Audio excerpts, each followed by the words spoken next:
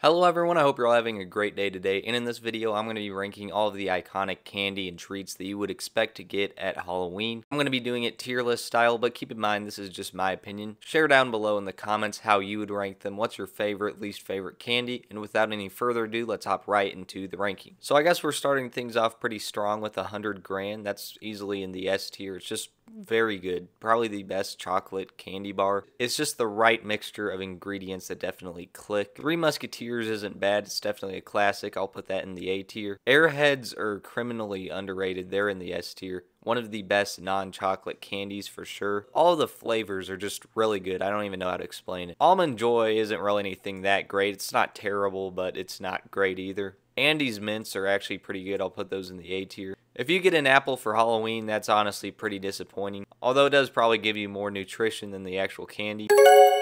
Baby Ruth will probably go in B tier, kind of overrated in my opinion. I have no clue what this thing is, or this. Like, I might have had it, but I just can't really tell from the picture. Butterfingers are actually really good. I'll put them in the A tier. They just have a nice crunch. They're more unique than most other candies. Candy corn is very controversial, but I'll actually put it in the A tier because I personally don't mind it. As a matter of fact, it's just something nice to munch on. I've actually not had the caramel apple Milky Way. I did not know that was a thing. Crunch bars go in the A tier for sure. They're pretty good. Dots are super nostalgic. I probably got to put that in the A tier. I'm really not the biggest fan of bubblegum. Like, I'll have it, but I just think it's overrated, especially this kind. Like, it loses its flavor very early on.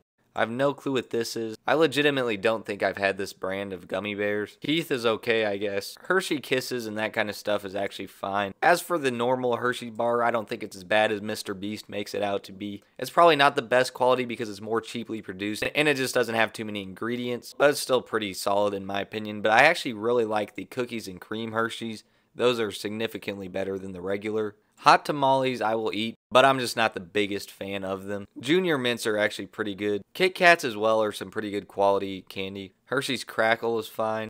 Laffy Taffy, I guess, kind of depends on the flavor. I actually don't think I've had this kind of candy. Fun Dip is legitimately very nostalgic and kind of goaded. It's definitely been a while since I've had it, so I'm not sure if it's actually as good as I remember. It's been a while since I've had Mike and Ike's, but those are like super good. One of the better non-chocolate candies for sure. Milk duds are actually really good, but they do get stuck in your teeth, which can be annoying. Milky Way for sure goes in the A tier, just another one of those classic candy bars. Of course, how could you not put M&M's in the A tier as well? I've never had a Mound, but I think they're like the same company as Almond Joy. I don't even know what the difference between Mr. Goodbar and Crackle is. I guess Crackle has like rice or something in it. This looks like some sort of off-brand Smarties. I don't think I've had that.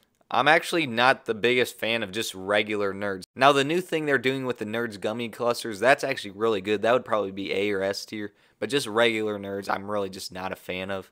I forgot what these are called, but these are criminally underrated. They're pretty much like around Airhead levels of good. Payday, I'm not really like the biggest fan of because I don't even know if they have chocolate, so what's the deal there? I think this is peanut M&Ms. I guess it's okay. Or maybe this was peanut M&Ms. I don't know. There's some sort of M&Ms. One's peanut butter, maybe. Let's be completely honest, though. If you get money for Halloween, like, that's honestly a good treat. Maybe a little kid wouldn't be that excited over it, but when finances start becoming part of your life, you need to start going trick-or-treating again just to make sure you could get some of this money. I have no clue what this is. It might be like chocolate-covered raisins or something, but honestly, it's kind of hard to tell. Reese's is another classic that goes in the A tier. Reese's Pieces, same thing along those lines. Pretty much same taste, just different texture. Ring Pops will probably go in the B tier. They're pretty okay. Skittles are definitely a classic candy. I'll have to put them in the A tier. Smarties are probably just going to go in the C tier. Like, I don't think they're as bad as some people make them out to be, but definitely not the best. Of course, Snickers is another one of those classic bars. I legitimately, like, never try the Sour Patch Kids or the Swedish Fish or any like that kind of gummy stuff. It just doesn't really, like, interest me. Starburst, I'll probably put, like, at the top of the C tier, kind of along those lines of some of the more generic candies, but like not terrible. then this old person candy, I mean, it's just kind of whatever. I'm pretty sure Sugar Daddy was just designed to get stuck in your teeth. Somehow I never remember having the sweet tarts. If you get a toothbrush, let alone three toothbrushes, that's like not a good thing. I mean, you should brush your teeth, but who would actually use a toothbrush they got from Halloween? Now there's these little like Tootsie things that were not chocolate, and I haven't had them in a long time, but I actually kind of remember liking them a little bit. Suckers are definitely a classic. I mean, the quality can vary, but it's definitely pretty iconic. Tootsie Roll is okay, I'll put that in the C tier. I'm pretty sure those aren't actually made out of real chocolate. Twix is definitely one of the more iconic candy bars, another classic, but the real question is do you prefer left or right Twix? Because apparently there's a pretty big difference. Sour Punch straws we'll probably put in the B tier. Some of them have a little bit too much like powder and sugar on them, which I'm not the biggest fan of. But I mean, they're pretty good flavor wise. I don't remember having warheads in a while. I mean, I guess they're okay. I'll probably put them in C tier. If you really like sour stuff, that's probably something you'd be interested in. Of course, there's some more old people candy. And then, of course, the Whopper. Not the Whopper from Burger King, but the Whopper candy, which is like okay, I guess. Now, the York is pretty much like the same thing as like a Junior Mint, I'm pretty sure.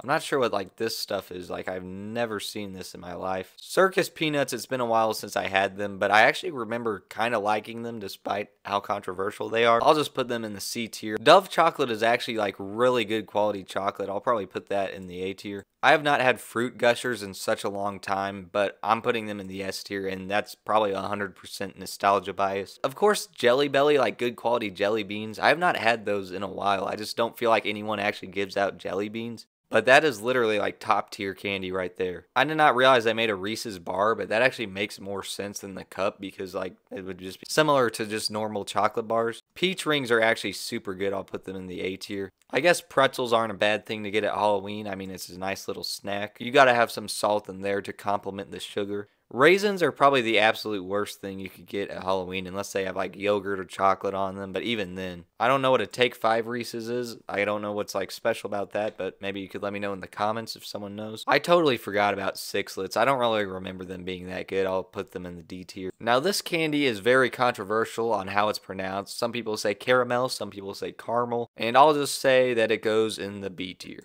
Krabby Patties, also like super nostalgia biased on this, but I think they're pretty good. It's the same exact thing with these fruit strips. I don't know like what it is with all these candies though. Not sure what a fruit stripe is. That just seems like a ripoff. Fun Dip, I thought I already ranked that, but I guess this is like a different flavor or something, but like it's the same thing. Gobstoppers, I'm not really the biggest fan of. This kind of gum is actually probably good because you can like choose how much you want, but still, like I'm not the biggest fan of gum in general. I did not know they made orange Kit Kats. Now, Lifesaver gummies, I think this is the gummies. Those are actually like extremely good. I will put them very high up. And I guess this is the hard lifesavers. Actually, also pretty good. I don't think I've had the rest of these. Maybe I've had this, but I mean, I guess it's just okay. But overall, that was my candy tier list for Halloween. Again, share how you would rank them in the comments section down below. As always, thank you guys so much for watching, and happy Halloween.